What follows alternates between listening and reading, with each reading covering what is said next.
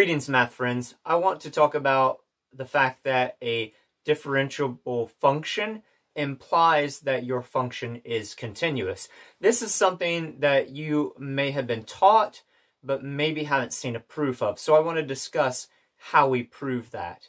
So I have the statement here, uh, and we're going to establish that our function is going to associate some domain to some range. Uh, we'll call this f uh, to be our function, and then d is just some domain and r some range. And we are going to say that it is differentiable at the point x sub a.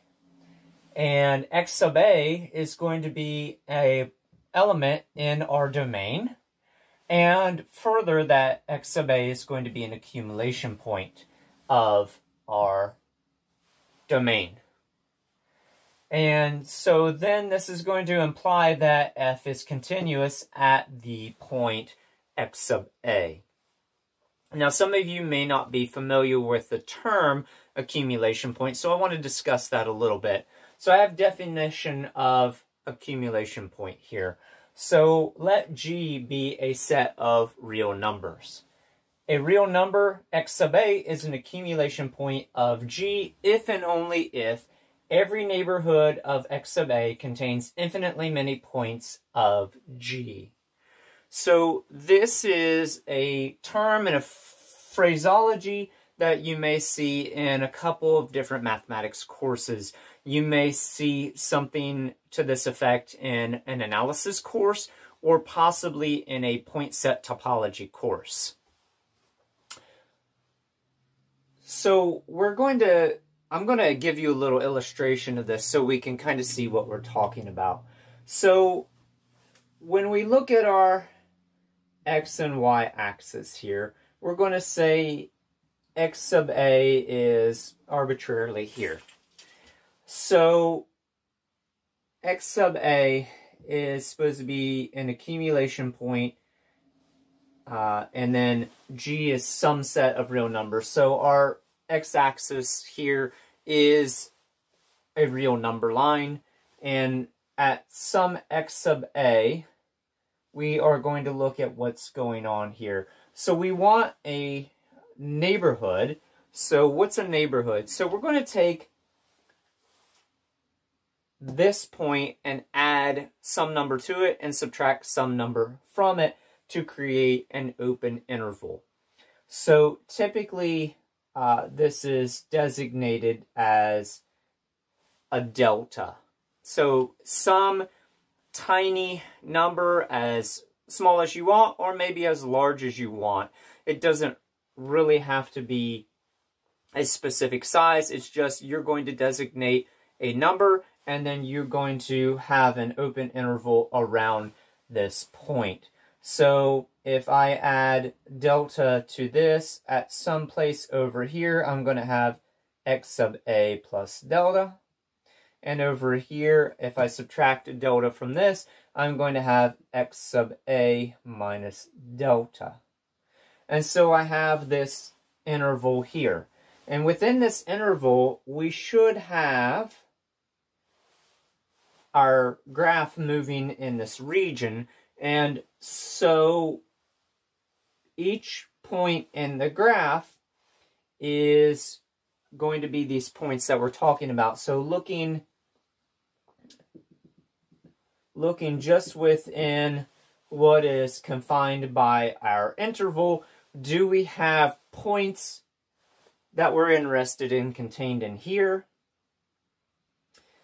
And it says we should have infinitely many. So if this is a real number line, if you have a graph passing through this interval, you have a subset of the graph and infinitely many points are contained in here. If you look back at the geometric description of what a line is, a line is, or can be thought of as a uh, string of points that is taut, so there's no sag in it, and it is a string of points. Uh, the the line is an undefined term in geometry. The point is an undefined term in geometry. Uh, so we have to come up with descriptions for these things. Now, if you put a little sag in your line, you can say it's some curve that fits into here. And so essentially any segment that you have of that line or that curve is going to also contain infinitely many points from your real number set here. So we have this interval. We're talking about some curve passing through here as we look. And if we approach from the right-hand side and the left-hand side, we want to approach this point that corresponds with x sub a. Now, as you may have seen in some of your calculus courses, the point here doesn't actually have to exist as a part of the domain, but as you approach that in the idea of a right and left hand limit, you should be approaching the same point whether it is a part of your domain or not. And so the way that I've drawn this, if we approach from the right moving towards the left and from the left moving towards the right, my fingertips would meet if I follow this uh, curve down. So regardless of whether the point is in the domain or not, I am approaching the same thing as a limit. You start to see ideas of right and left hand limit in here, and we know that calculus has these arguments that deal with limits as you approach some point.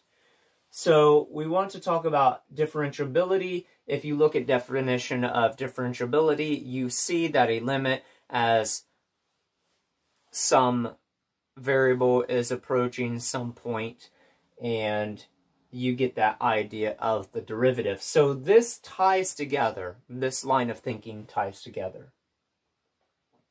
So let's start to build a function that we're going to talk about.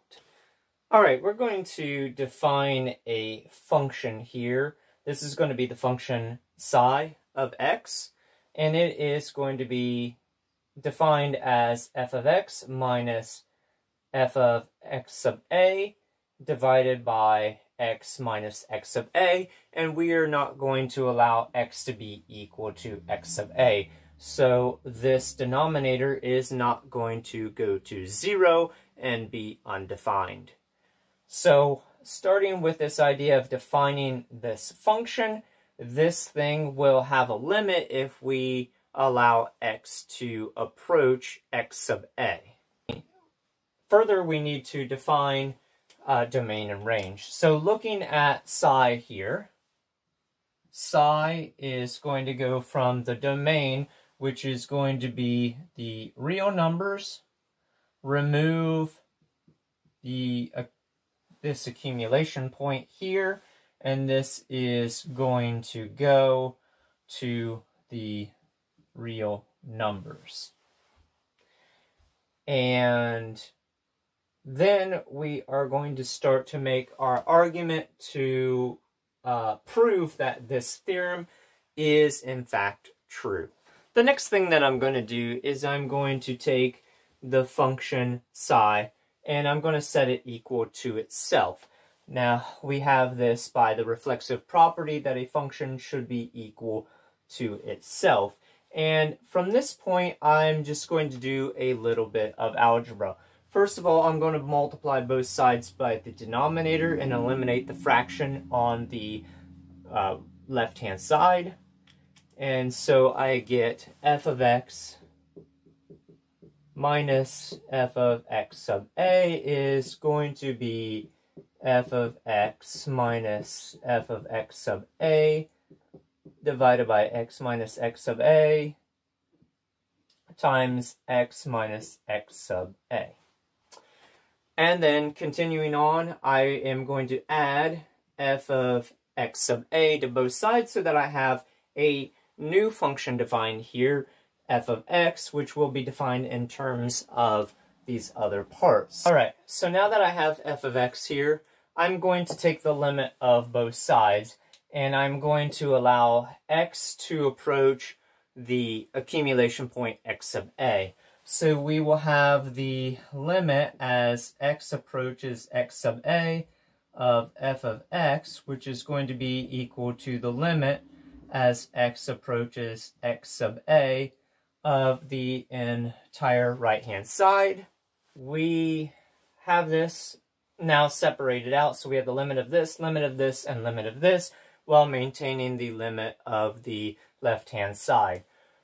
So notice that this is the definition for derivative. So this is just going to be the derivative of f at x uh, uh, sub a as x approaches x sub a here. This is going to go to 0. This is why we had removed x sub a from the domain of this function here is because we didn't want 0 in the denominator. So this is going to be times 0.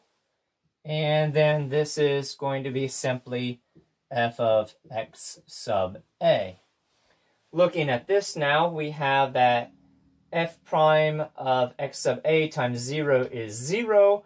0 plus f of x sub a is f of x sub a. And so we do have the point x sub a being achieved here. This uh, shows that if you start with a differentiable function that's differentiable at a point, then it will actually be continuous at that point. I hope this has been uh, a good informational piece to kind of help our understanding of a little bit of the background of some of the terminology and the ideas that are behind the reasoning why we have this idea that if you have a differentiable function, this is implying that you have continuity uh, because of this idea of of the accumulation point. If you're differentiable at a point, then that point has to be um, continuous in your function.